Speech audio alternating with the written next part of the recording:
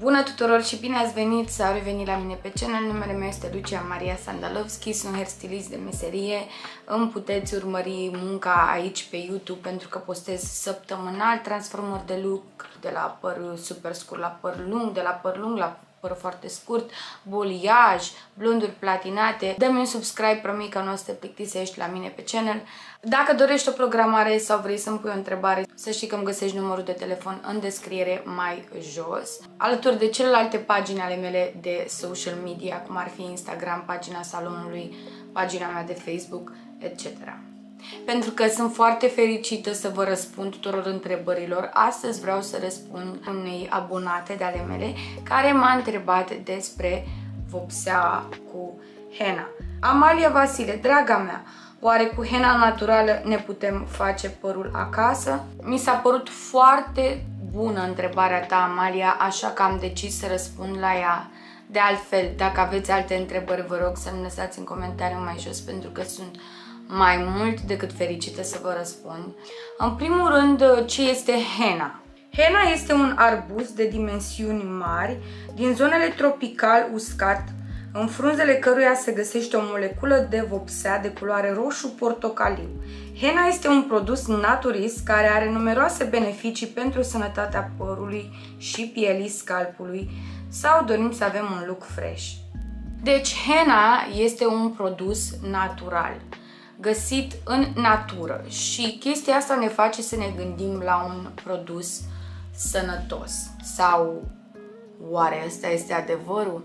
Vopseaua cu hena nu face rău părului. Asta nu înseamnă că duce lipsă de chimicale. Și vopseaua cu hena conține chimicale. Nu vei obține niciodată o culoare profesională cu vopsea hena. Singura culoare care iese cu hena este negru. Negru care este o culoare foarte basic și iese indiferent de situație.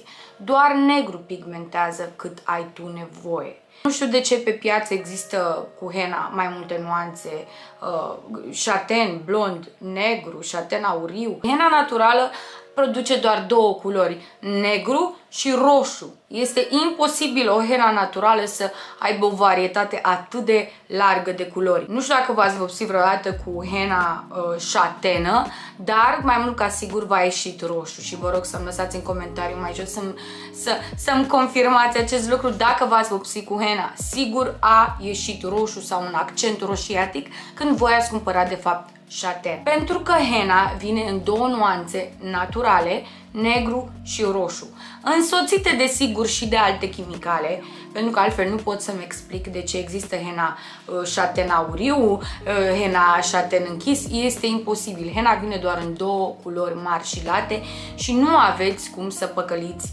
natura, dacă tot mergeți pe natural. Acum, acum vreau să vă spun că totuși hena nu este dăunătoare. Nu înseamnă că este perfect naturală, dar comparativ cu alte chimicale găsite în alte produse, uh, hena este, de, este mult mai soft. Și uh, dacă te limitezi la negru sau la roșcat, ok, alege hena. Dacă îți este atât de frică de chimicale sau ai o alergie sau o problemă de sănătate în care nu poți să tolerezi cantitatea aceea de uh, chimicale periodic, uh, așa că te îndrepți către ceva mai natural, să zicem că te rezum la negru și roșu, ok, hena negru-roșu, îți convine situația. Doar că trebuie să te gândești bine că ăsta este lifestyle-ul tău și drumul pe care vrei să mergi cu părul, deoarece, cum spuneam mai devreme, și hena conține chimicale și sunt genul de chimicale care nu sunt compatibile cu chimicalele din vopsea. Adică, dacă decizi să te vopsești o perioadă îndelungată de timp cu hena neagră, dau un exemplu. Va fi greu, dacă nu chiar imposibil, dacă ai de gând vreodată să te duci spre blond pentru că este foarte greu de scos, așa că gândește-te foarte bine dacă vrei să mergi pe acest drum cu hena, pentru că este greu de modificat acest drum. Să zicem că ai încercat odată hena, nu ți-a plăcut, așa că vrei să te întorci la felul în care te vopseai înainte, dă o pauză părului. Adică trebuie să ai răbdare între 6 luni și un an ca, acel, ca și acea substanță din hena să se ducă și tu să poți să aplici altceva. De ce cred că totuși conține chimicale destul de puternice? Nu vorbesc despre toate brandurile care produc vopseaua de, de hena.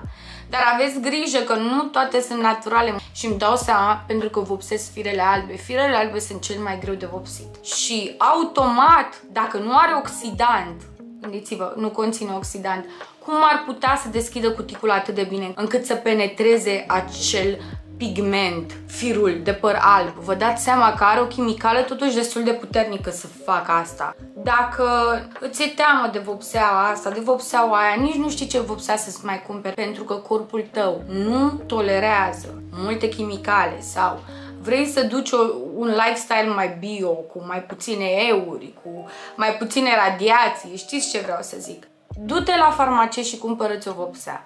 Sunt foarte multe vopsele în farmacii care nu conțin atât de multe chimicale, adică cumva chimicalele acelea sunt mai uh, diminuate și dacă ți este frică să te vopsești cu vopsea din comer, pur și simplu se frică de toate vopselurile acestea, încearcă o vopsea din farmacie. Vă pup!